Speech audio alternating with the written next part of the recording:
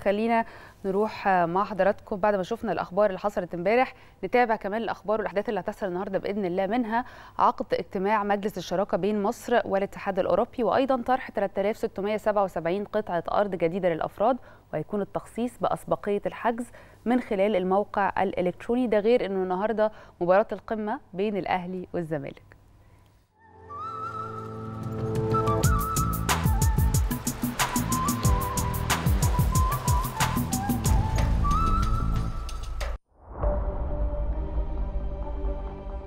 بالنسبة للأخبار اللي هتحصل النهاردة هيتم عقد الاجتماع التاسع لمجلس الشراكة بين الاتحاد الأوروبي ومصر في لوكسمبورغ برئاسة وزير الخارجية سامح شكري والممثل الأعلى للشؤون الخارجية والسياسة الأمنية بالاتحاد الأوروبي جوزيف بوريل. الاجتماع هيتطرق للعلاقات الثنائية بين مصر والاتحاد الأوروبي بالإضافة لعدد من الموضوعات والقضايا السياسية. كمان مجلس الشراكة هيعتمد وثيقة أولويات الشراكة الجديدة بين الاتحاد الأوروبي ومصر حتى عام 2027 النهارده هتبدأ وزارة الإسكان في طرح مرحلة جديدة من أراضي الإسكان للأفراد وهيكون التخصيص بأسبقية الحجز الإلكتروني من خلال الموقع الإلكتروني. الطرح الجديد هيتضمن ثلاث أنواع من الأراضي هما الإسكان المتوسط والمتميز والإسكان الأكثر تميزا بواقع 3677 قطعة أرض.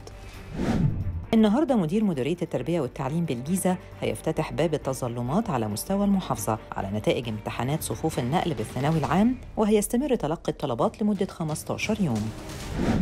بالنسبة لأهم المباريات اللي هتتلعب النهاردة هيكون في لقاء قمة بين الأهلي والزمالك ضمن الأسبوع 20 من عمر بطولة الدوري المصري على استاد الأهلي والسلام الساعة 8 بالليل